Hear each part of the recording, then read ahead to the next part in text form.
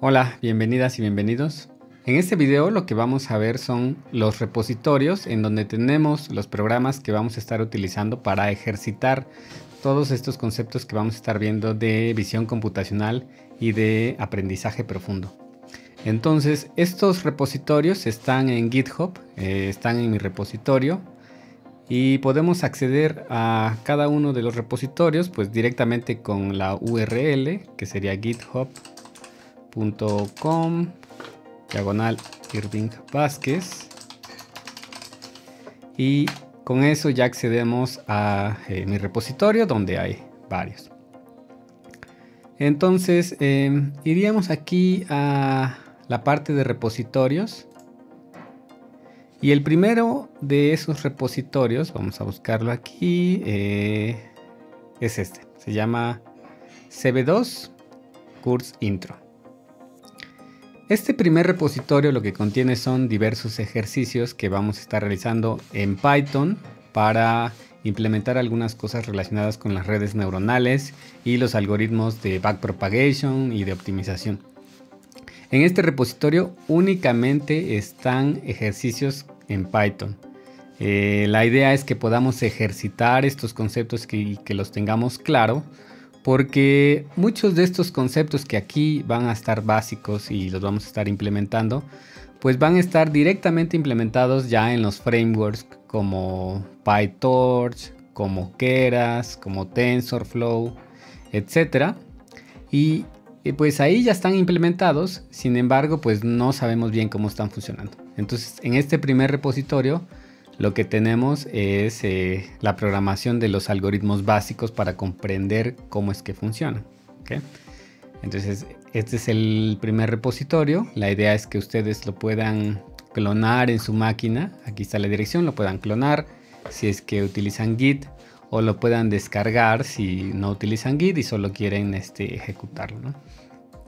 Em, sobre el ambiente que se requiere para ejecutar estos, pues bueno, pueden crear un ambiente en Anaconda y no, no hay eh, paquetes, eh, digamos, muy diferentes, pues con los paquetes eh, tradicionales que son Python, em, NumPy, etcétera, pues digamos con los paquetes básicos se puede hacer la ejecución de estos primeros ejercicios. Por eso es que no estoy agregando aquí un ambiente.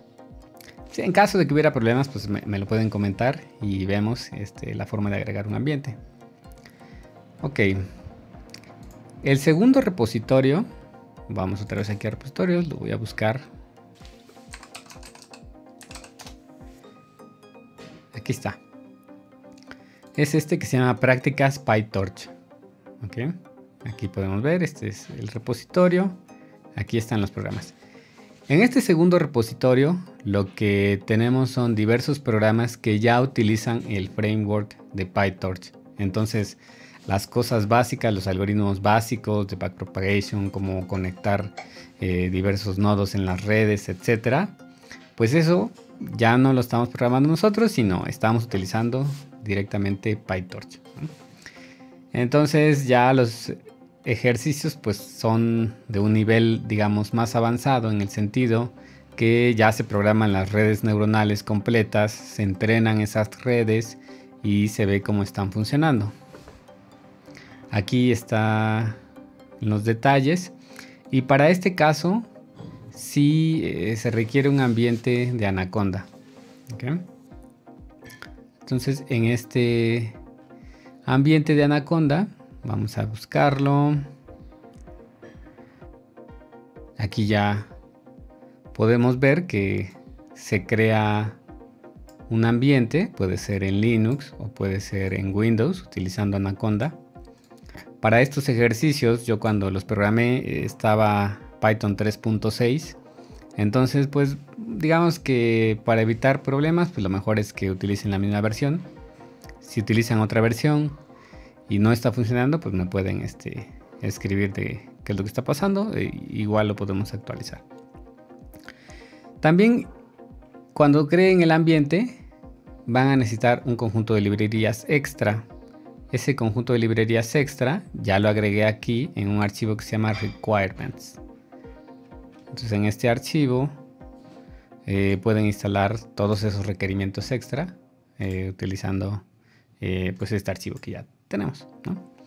Entonces, bueno, eso es lo que corresponde a el material que va a estar en los repositorios. Mm, mm, recapitulando, tenemos uno para entrenamiento y práctica de conceptos básicos de redes y luego vamos a tener el otro repositorio en donde vamos a estar viendo conceptos avanzados, donde vamos ya a implementar redes neuronales completas utilizando un framework, que en este caso es PyTorch.